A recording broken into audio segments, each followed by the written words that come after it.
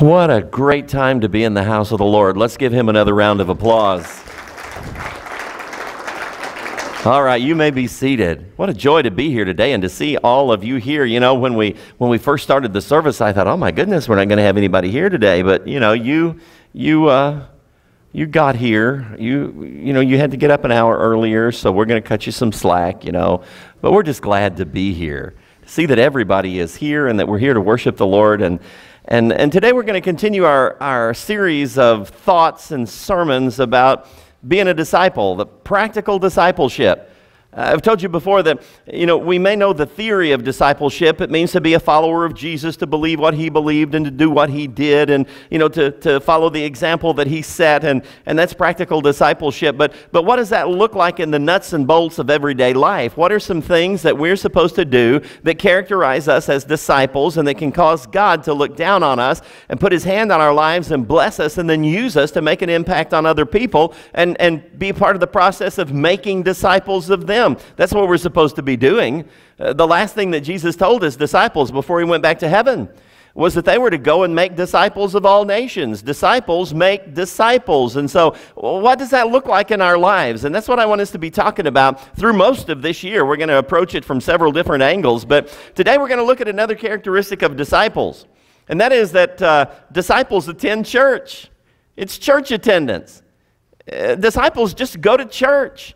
They're a part of the church. They assemble with the church. And, and we're going to look at what that's all about. Because, see, a lot of people think that, that church attendance is kind of a duty, kind of an unwritten law. You know, oh no, I got to go to church. It's Sunday and the time changed and I got to get, you know, it, it's kind of like a duty, but that's not the way it's supposed to be. That's not the way God has designed it to be.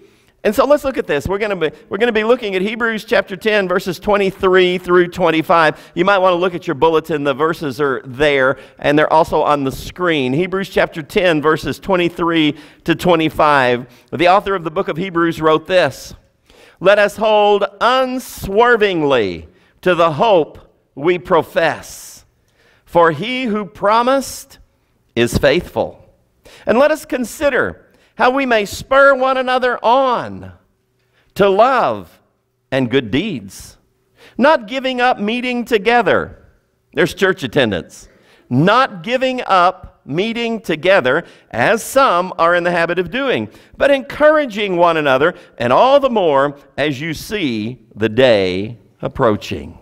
Let's pray together. Father, I thank you for your word. I thank you for this section of Scripture where you give us such a a dramatic description of what church attendance is supposed to be like and why we attend. Why are we here? What are we supposed to be doing while we're here? What is the primary purpose of our coming together with other believers? You tell us right here in these verses. And Lord, I thank you for that. Help us to see it today. Send your Holy Spirit to open our eyes and our minds and, and to be able to see why it is that we're here with each other in your presence. Lord, would you show us that today? I pray in Jesus' name and for his sake, and amen. Uh, you see, God knew that living a Christian life in a sinful world would not be easy. How many of you have discovered that as well? Being what you're supposed to be in a broken, messed up world is not easy. If we're not careful, that will mess us up, won't it? And so God knew that. God knew that ahead of time. He also knows that his people will be more successful in their effort to live for him if they spend time meeting together to love one another and encourage one another to do good deeds for him. Everybody needs a cheerleader. Everybody needs an encourager. Everybody needs somebody in their corner saying, not only you should do this, but you can do this. And so that's what church attendance is primarily about. That's why he inspired the author of the book of Hebrews to write this, these verses that we've already read. Let us consider how we may spur one another on toward love and good deeds. When you spur somebody on, you're being their cheerleader. You're motivating them. You're encouraging them. You're pushing them along in the right direction. And, and then he says, not giving up meeting together. You see, if, you, if you're not with the people who are supposed to be your cheerleaders, if you're not regularly meeting together with them, they don't have the opportunity to do for you what you need to have done for you, which is to be your cheerleader, to spur you on to love and to good deeds. So don't give up meeting together as some are in the habit of doing. Sometimes when I'm pastoring churches and and, and, somebody will be coming to church for a while and then they'll drop out and they'll quit coming to church, and that kind of discourages other people. It really shouldn't be discouraging to us, and it shouldn't be surprising to us, and we shouldn't necessarily feel guilty that if we didn't do this or we didn't do that or we didn't do something else, and this person might still be coming. In the days of Jesus, in the days of the first century when the scripture was being written, there were people who were quitting. Do you see that? Some are in the habit of not meeting together. That's what he said there. So, for our spiritual well being, God commands us to meet together with other believers, to be loved and to be encouraged. Everybody needs to be loved. Everybody needs to be encouraged. These words were written to people who were dangerously close to rejecting their faith in Christ. People who are about to throw in the towel on Christianity. That's why the author wrote, Let us hold unswervingly to the hope we profess. The only reason he would be motivated to say that is that there were some people who were not holding as tightly to their hope as they should have been. They were kind of loosening their grip and not holding unswervingly to the hope that they had professed. And so he has to encourage them and say, uh, Hold on tight. Don't, don't, let, don't let go. Don't lose your grip on your hope. So you see, something had to be done. Some of the recipients of this letter had even gone so far as to, as to have given up on meeting together with other believers in the local church. And so that's why the Hebrew writer came right to the point when he wrote, Let us not give up meeting together as some are in the habit of doing. Now I want you to look closely at these verses. Let's kind of read them again and, and just kind of ask the Lord to help them really sink in. Let us hold unswervingly to the hope we profess. For he who promised is faithful. And let us consider how we may spur one another on toward love and good deeds, not giving up meeting together as some are in the habit of doing, but encouraging one another, and all the more as you see the day approaching. Now, notice that church attendance has to do with holding unswervingly to our hope, number one, and then spurring one another on toward love and good deeds, that's number two. Two primary reasons for you to attend a good Bible believing church is number one, if that church is what it's supposed to be, it will be encouraging you to hold on to your hope. How many of you ever been in a hopeless situation? Is that a fun place to be? Is that a healthy place to be? No. So he says, hold on to your hope unswervingly. Don't be swayed from your hope. And that's what the church is supposed to be and to do. That's why we don't forsake meeting together. We don't give up meeting together. And so it's good for us personally when we do that. Your grip on hope is more secure when you attend church regularly. Now, church attendance is not only good for you, but it's also good for other believers that are in your church when you attend church services on a mission to spur one another on toward love and good deeds. Now, we all need to be motivated from time to time, and the best place to find motivation should be in our local church. We need to be motivated. We need to be on a mission to motivate others. If people need to be motivated, they need to be encouraged, they need to be spurred on toward love and good deeds. That assumes that somebody's going to be there to do it. So every time we come to church, we need to come to church on a mission to spur somebody else on toward love and to good deeds, to encourage them, to motivate them, to stimulate their faith by what we say and what we do and how we relate to them. That needs to be our mission. And so when we come to church, we don't need to be negative. We don't need to be talking down about things. We need to be encouraging people about what God wants to do and about what God can do in their lives. Now, I want to tell you something else that I've discovered. I've discovered when I go to church on a mission, it doesn't make nearly as much difference what people may say or how they may relate to me. Because my focus is on finding somebody that I can cheerlead for, finding somebody that I can stimulate and motivate and help them move to the next level. And when I'm focused on doing that, and folks say things or do things that I might otherwise take offense at, it doesn't bother me nearly as much because it's not about me. It's about me helping somebody else. It's about me stimulating their faith and motivating them and helping them become all God wants them to be. And so you see how touchy you are. And do you realize there are some touchy people at church? How touchy we are is in large part determined by our perspective on why we're here. If I'm here for me, and it's all about me, and then somebody doesn't meet my expectations and do what I think they should have done for me, then I'll be touchy and offended and I may quit. But if my perspective is about what can I do for them, it changes the whole complexion of things, doesn't it? Because then I'm less conscious and less aware of what may be what may be going on around me because my focus is on who can I help and how can I help them? How can I encourage and motivate them? And that's what he says here. Church attendance is really good for the other believers in the church when we attend services on a mission to spur one another on toward love and good deeds. You see, we all need to be motivated, and the best place to find that motivation should be right here in our local church. Everyone also needs a regular dose of encouragement so when we attend church service, one of our primary goals should be not only to spur them on to love and good deeds, but to encourage one another. Let me give you this two definitions. To spur one another on is to say, you should.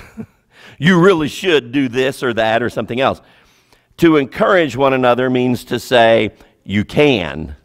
Not only you should, but what? You can. You can do this.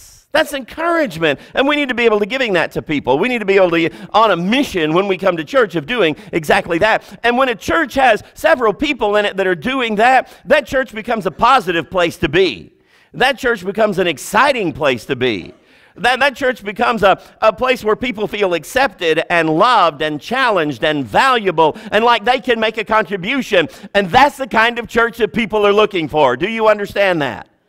I mean, nobody wants to go to a group of people and meet with them for a while and leave feeling worse than when they got there. Feeling beat down and judged and criticized and, and all of that kind of thing. People want to go to a place and meet together relationally with other people and leave saying, I'm glad I went.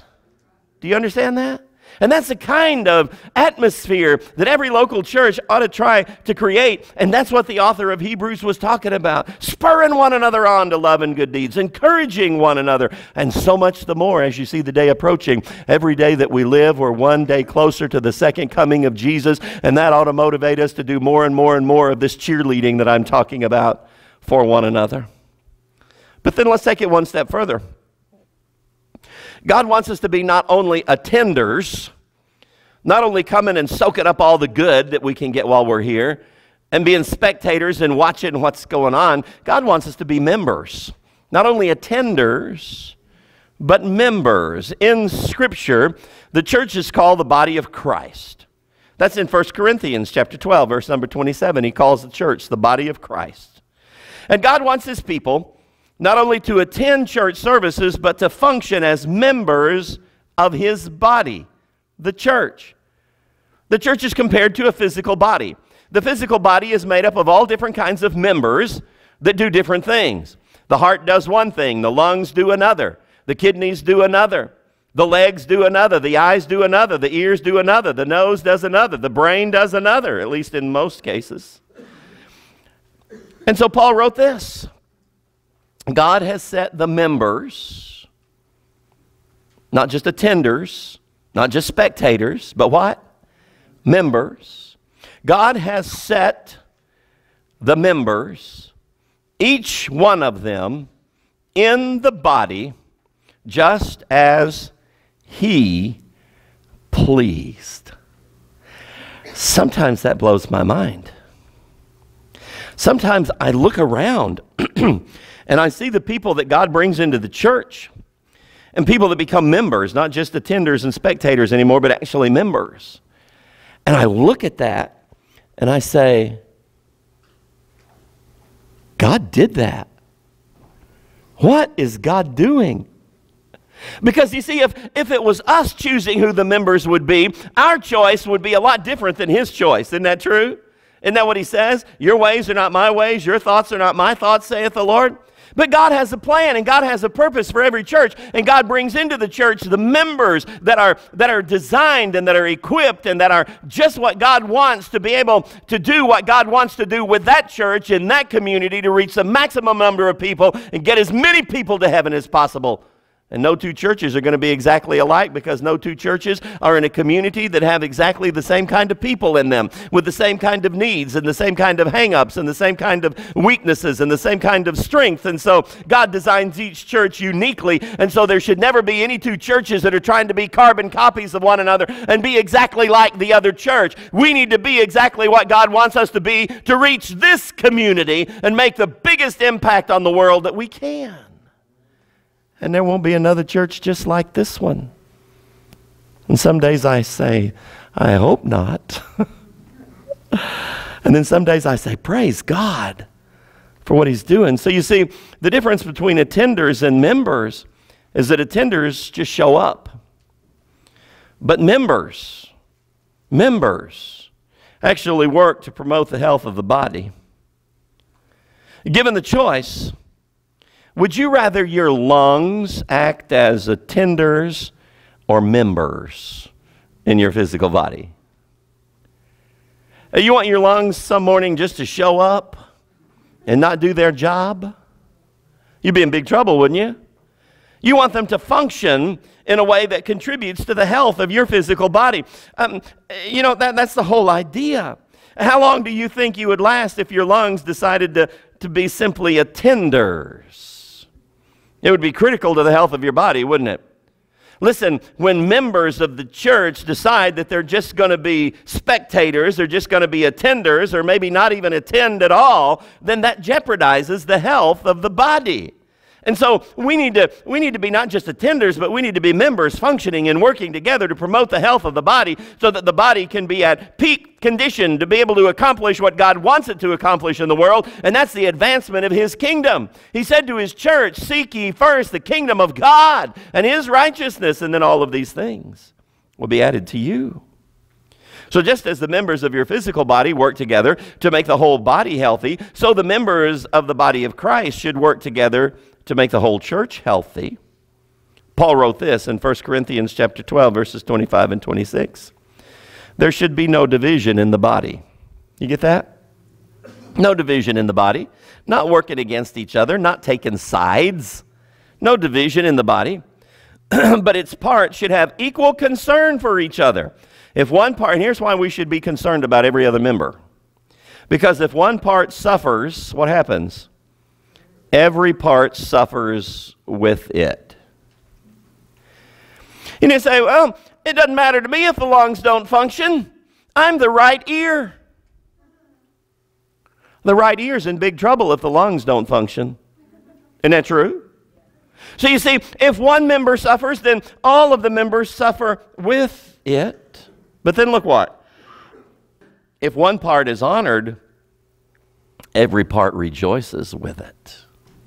When something good happens to the members of the body, then it produces joy in the body when the body's in the relationship that it ought to be in. Unfortunately, in the church, at times, some members begin to work against or in competition with other members rather than working together to promote the health of the body. And when this happens in the physical body, you know what we call it? When one part of the body starts working against other parts of the body, do you know what we call that? Cancer. We call it autoimmune deficiencies and problems, and it's deadly. And it's also deadly when it happens in the church. And so, being in the church and members of the church demands that we understand something about group dynamics and how to relate to one another in a healthy way in a group. And that starts with understanding that it's not all about me It's all about what's best for the group, for the body as a whole. Do you get that? It's about what's best for the body as a whole. That's the way members are supposed to think and members are supposed to behave. And that's why God tells us here about, about being on mission when we assemble together, when we meet together, being on mission to encourage and, and to stimulate and to motivate one another. And then I want to show you something else glory in the church. One of the basic purposes of God in the life of every Christian is that we work together with other believers in the church to give Him glory. You get that? To give Him glory. And the setting in which we can best do that is in the church. When we're working together with other people, when we're in circumstances and situations that may not be pleasing to us and that may rub us the wrong way, and we still behave properly in relationship to the body, then we make God look good. If we don't behave properly, we make God look bad. To give him glory, and we're going to read a verse of scripture about that in a minute, simply means to make him look good. Let's read it. It's in Ephesians chapter 3, it's verses 20 and 21. Paul wrote this to the church at Ephesus. To him who is able to do immeasurably more than all we ask or imagine, according to his power that is at work within us, to him be glory. Where? In the church. Do you know what that means? That means that in the context of the local church, we find the absolute best place to make God look good. If God can take us as different and diverse and disagreeable and untalented and unable as we are, and sinful as we are. How many of you are willing to admit that? Uh, yeah. If God can take us and put us together and not have a major explosion, and God is able to do something with us, that makes him look pretty good, don't you think? That makes him look really, really good. And as diverse and different and sometimes disagreeable as we are, when God puts us together and we actually manage to love one another, that makes him look really good. And that makes the world set up and take notice because Jesus said this. He said, By this, shall all men know that you are my disciples. If what? If you love one another. Isn't that incredible? That is just in, incredible. And so it is our responsibility to relate together in the church so that we make God look good. And we're supposed to do this throughout all generations, forever and ever. You see, God desires that His children work together in the church to bring Him glory. The church, then, by definition, is a group of baptized believers who work together to bring glory to God. And in order to do that, we must, uh, to do it effectively, we need to define glory. And I've already done that, but I want to do it again. To glorify God means to make Him look good. The primary role of the church in the world is to make God look good. I heard a pastor one time describing this whole concept of glory making God look good. and he said, I finally got it. And he was a black pastor, and I loved him. I loved hearing him preach. He said, I finally got it. His name was E.V. Hill. He said, I finally got it. He said, uh, several couples from the church went out to eat. And when we got there, he said, it happens every time. But he said, I, I particularly noticed it this time. He said, before we left the house, he said, My wife said, Give me just a few minutes, honey. I got to go in and check my makeup. I need to check my mascara and my eyeliner and make sure everything is good. And so he went and he said, I got it. She was going in there to check on her glory. She was going to make herself look good. And she came out and he said, She did it. She looked better when she came out than when she went in. Isn't that the way it's supposed to be with the church? When people come here and they leave, shouldn't God look better to them? And he said, then we went to the then we went to the restaurant and, and, and we all got to the table and we hadn't been there but just a couple of minutes. They took our order. And as soon as the waitress left after taking our order, one of the women said, Excuse me, I need to go to the powder room. And said they have the herd instinct. They all went to the powder room. He said, I looked at the brothers that were left there and I said, They're going to check on their glory. And he said, when they came back, they looked better than when they went in. And he said, it hit me. That's the way it's supposed to be with the church. We're supposed to be looking better when we come out than when we come in. God should look better when we come out than when we went in. That's what it means to glorify Him. Isn't that the truth? You should come to church and learn something and relate to people in such a way that when you leave, God looks better than when he came, when you came. God looks better to you and God looks better to people that you influence. That's giving him glory in the church. Now then, believers in the church make God look good when we think and when we act like Jesus thought and acted in the various circumstances of life. Do you understand that? When you just behave properly when things are tough, that makes God look really good, especially to the people who know you. Isn't that true? They see you in a bad situation and they say, I know what's fixing to happen. He's fixing to blow it. She's fixing to have a ring-tailed fit. I've seen this happen before. And then all of a sudden, because you have learned how to navigate through life, because you've been at the local church and they taught you something relevant to help you navigate through life, to help you, you know, not respond wrongly, but respond the way Jesus would. And they look at that and they are amazed. And they say, God must really be working in her. God must really be working in him. There's a change there, and I see it. And that makes God look good. That's what it means to give Him glory in the church.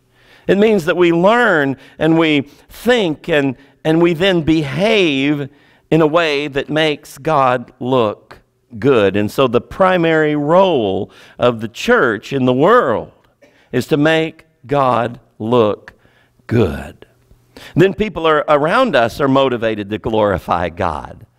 If you're going around making God look good, then there are going to be other people around you that are going to catch on and they're going to think, I need to be making God look good.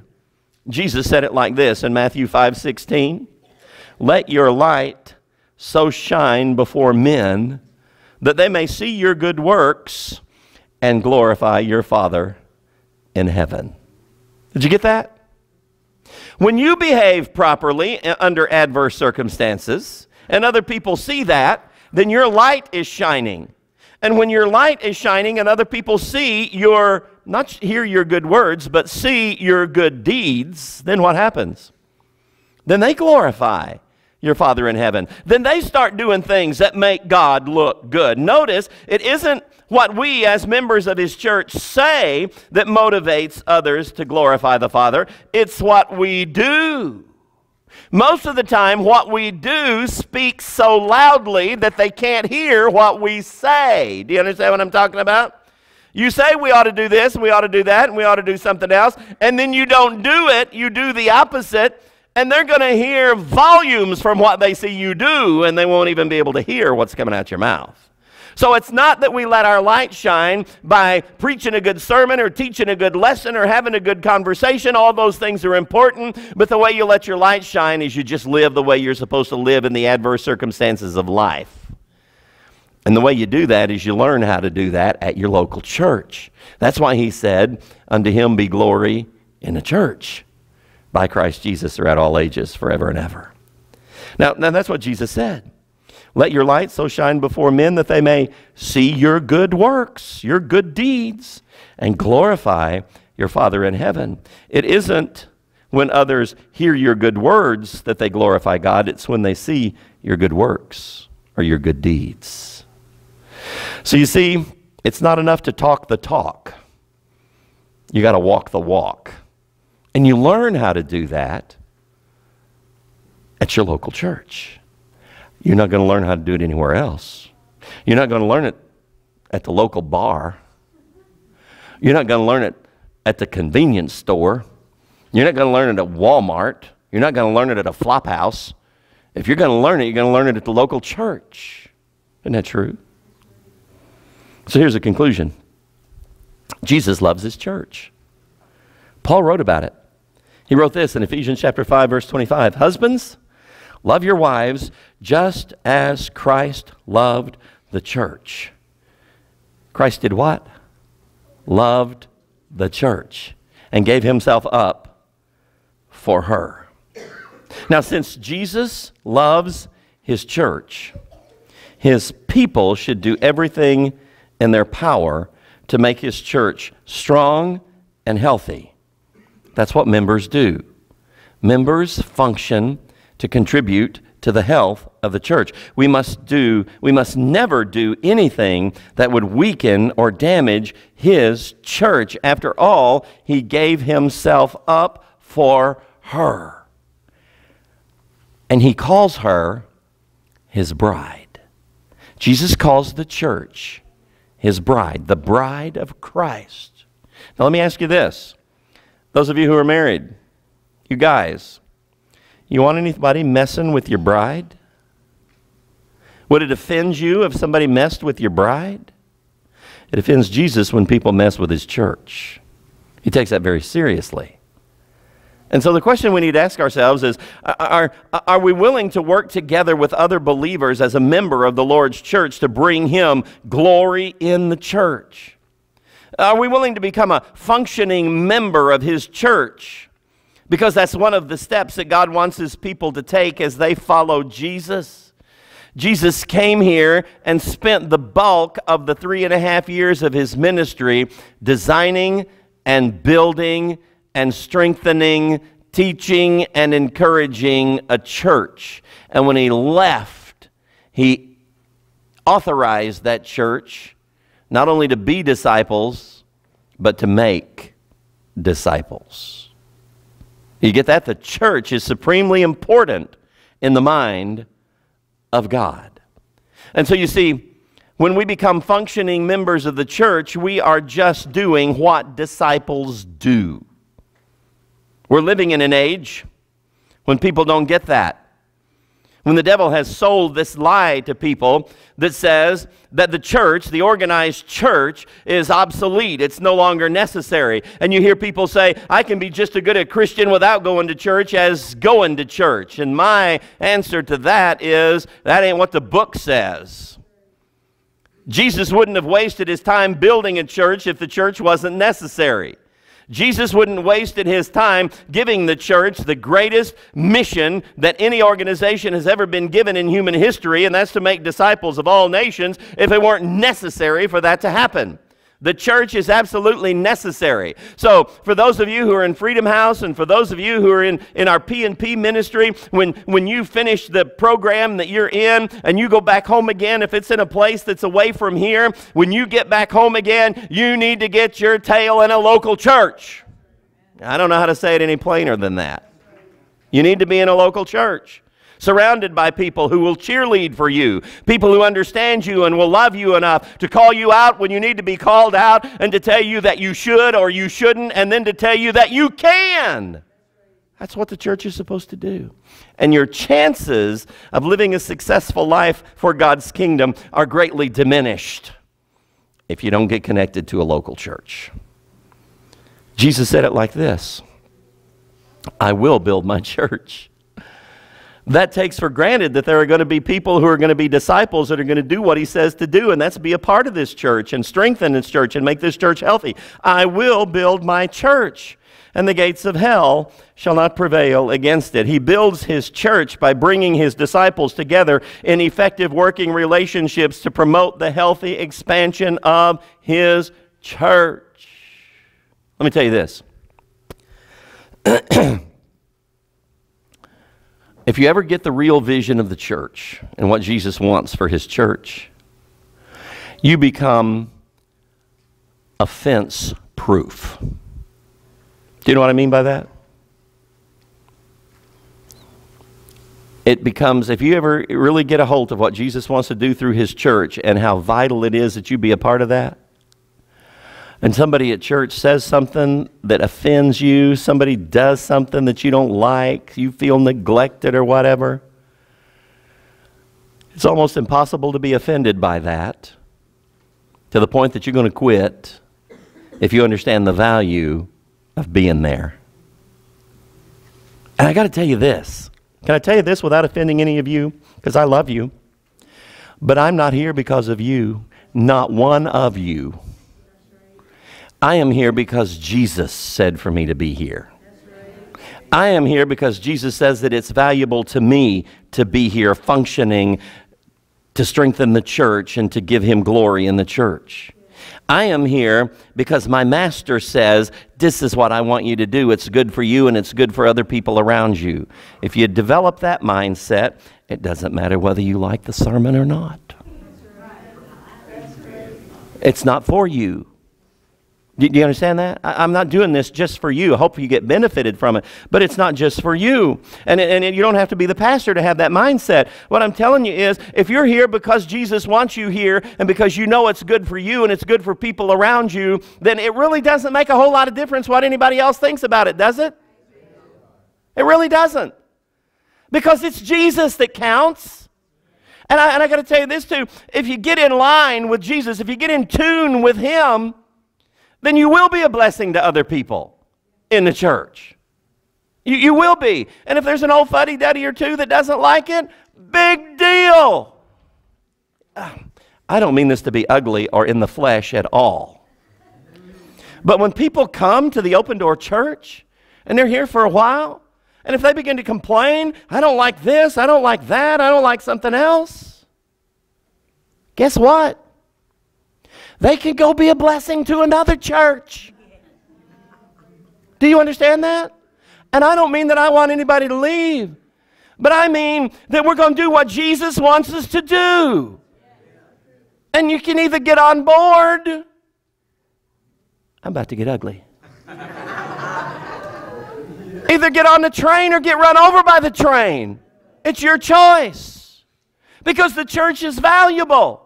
It's valuable to us and it's valuable to other people. 17 people got to know Jesus yesterday. It's valuable to them. Do you get that? I don't know. That's not even in my notes. Authentic disciples are the material from which Jesus builds his church.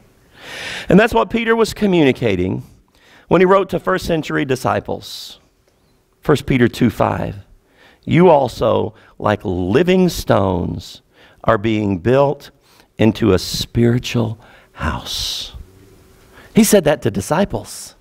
Like living stones, you're being built into a spiritual house. Paul defined God's house, this spiritual house, as the church of the living God. That's what he wrote to his young disciple Timothy in 1 Timothy chapter 3 verse 15. He write he wrote this, I write, he's writing this to Timothy, so that you may know how you ought to conduct yourself in the house of God, which is the church of the living God, the pillar and ground of the truth. So he defined there the house of God as the church of the living God. And it's, it's with these disciples who are living stones that he's building up this house. Now, I wasn't going to tell you this. I, don't, I, I didn't have this emphasized, but I see this and I want to give this to you. He says, I'm writing to Timothy, so you ought to know how you ought to, be, so that you may know how you ought to be, conduct yourself in the house of God. What does it mean to conduct yourself? Talking about your behavior, isn't it? Talking about your behavior. There's a certain way we ought to behave when we're here. We ought to behave in a way that spurs one another on to love and good deeds. We ought to behave in a way that encourages one another. We ought to behave in a way that we're saying to people by our words and by our attitude, by our body language and all of that, that I'm for you, that you should do this and you shouldn't do this, and you can do this. We all need to be cheerleaders. Cheerleaders for Jesus. That's what that whole section of the book of Hebrews is about. And I'm praying, and I hope you'll pray with me, that God will continue to do that right here at the Open Door Church. So that when people come in here, they don't feel judged and condemned and pushed away, but they feel accepted and they feel like I can find somebody that'll be in my corner at that church. That's really what needs to happen.